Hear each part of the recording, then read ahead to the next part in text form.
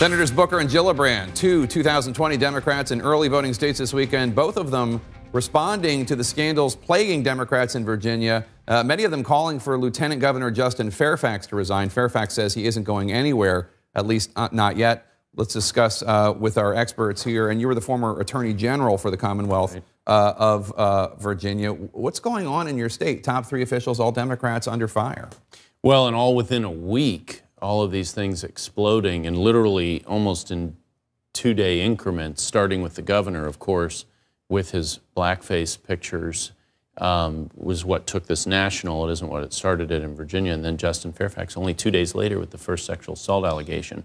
And you, you saw two 2020 Democrat contenders there reference the second allegation. But when the first one came out, he immediately came out and was shooting at the accuser, um, rhetorically speaking, of course. Yeah and the and using the Washington Post as a shield, and they immediately called him out on that. So he has really violated rule number one: when you're in a hole, stop digging.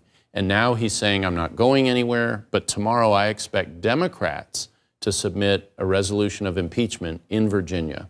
Um, and that will begin a process that has not been used in Virginia in our lifetimes. Are you worried at all, Congresswoman, about the effect this is having on the 2020 candidates, on the Democratic Party, uh, on anything having to do with, with the, the agenda that you want to put forward? Well, we need Virginians to have somebody who could lead in that position, and that's my concern.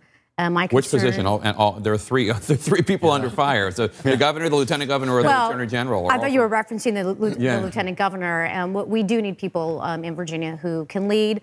Um, we don't want to be distracted. Look, Democrats want to talk about our agenda. As you mentioned, we want to talk about lowering prescription drug prices. We want to talk about health care and having access to care, we need to talk about climate change. So we would like to talk about those issues and certainly make sure we avert a government shutdown. Are you at all concerned, Nina, Senator Turner, about the image of impeachment proceedings against an African American lieutenant governor, uh, while the attorney general and the governor, who have both admitted dressing up in blackface, escape any consequences? Very concerned, Jake. I was going to say, I hope that the legislature starts impeachment for all three of these folks.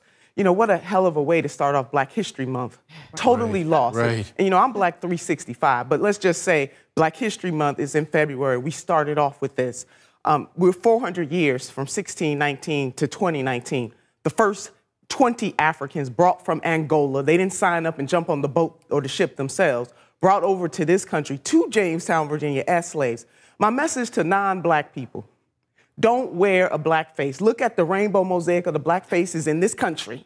That is, those are the only black faces you should be talking about. But Jake, you hit the nail on the head. The hypocrisy in terms of this governor thinking he even weighed in on whether or not uh, Lieutenant Governor Fairfax should go that all three of them need to go. And it is not a distraction to talk about racism in this country because it is in the DNA of this country. It's the first thing that this country was founded on racism and bigotry, and we just got to understand that. Well, so, Con- Congresswoman Love, uh, yeah. The Attorney General himself called for the governor to resign when the governor's blackface pictures came out. Yeah, knowing that Four he had his own. No, which tells you he thought he was going to get away Arrogance. Right. It is arrogant. Arrogance. I agree. And four days later, he's admitting it himself, and he's still there. Contempt and arrogance. Look, there is no daylight on this issue with anyone that we've actually seen that have said these people have to go. I've always presumed, and I, continue, I will continuously say this you are innocent until you're proven guilty, but can you govern? Can you actually lead um, the, the state and start talking about policy issues? Now, remember the first time that we were talking about this governor was on the policy of the uh, abortion issue, the yep. third trimester abortion issue. We've gotten away from even talking about that, and we're going into his contempt for uh, life, his contempt for people um, of color, and then now we've gone into the lieutenant governor. This is just, a, which is actually criminal um, accusation. So they've really got to just just wipe everything clean, start all over, so that we can we can govern and but let. Jay, can I add? I just want to add to what the congresswoman is saying. This is not just about people of color. I want folks to understand this. This is anti-blackness. So let's make this clear. This is anti-blackness. Blackface in the mid to late uh, 19th century, 1800s, was about mocking black people, our humanity, our beauty, our culture. what we mean to this country. So this ain't a conversation about people of color. This is a conversation about anti-black racism, white supremacy in the United States of America. So Governor Ralph Northam uh, came out of hiding and uh, gave an interview to the Washington Post saying that he wants to focus on racial inequality during the rest of the time as governor. Here's what he said, quote, there are ongoing inequities to access to things like education, healthcare, mortgages, capital, entrepreneurship. I want to heal that pain, and I want to make sure that all Virginians have equal opportunity. And I think I'm the person that can do that for Virginia. Too little, too late. Uh, it, no credibility, and I actually I'm offended by that. Too little, I'm offended. It's almost yeah. like let me let me fix what's going on here, so I you know let me go and focus on something yes. else, so that people can stop focusing on the things that I did when I was 25. Well, and and and he wants to have his repentance as the governor of Virginia look, you resign yes. and you go get your own repentance and you let us continue on in Virginia with actual That's governance by people who legitimately ought to be in the office. Well, let me ask you a question, yes. Congresswoman, as, a, as the elected Democrat at the table. Uh, if all three of them resign, mm-hmm. uh, then I believe the Republican Speaker of the House of Delegates becomes governor. Uh, you don't want that. No, but we need to think about doing what's right and what's right for Virginians and what's right overall. I mean, look at the race issue in today's day and age with the president at the helm, who has been one of the most divisive presidents, and frankly, racist himself, is a conversation we do need to have. Um, but looking at just the line of order and saying, no, we're not going to do that because of the consequences is not the right way to do this. And so for me, I would, I do think we need to have this conversation, and we should continue to have this conversation. But it has to be front and center, and we can't forget about the person who is dividing us and who himself is injecting this into the country to live up again and, and coming out again. And we haven't seen it be this bad in recent time till the president has really made this um, a race issue, whether it's about um, African Americans. Certainly, he's doing it all over the board with immigrants, but we need to have this conversation. I cannot. What? I just can't. 1984, 1980, right. Gucci, just a few days ago. This is not about President Donald Trump. This is about racism in the United States of America. Congresswoman, I hear you, but on this, we're not blaming President Trump.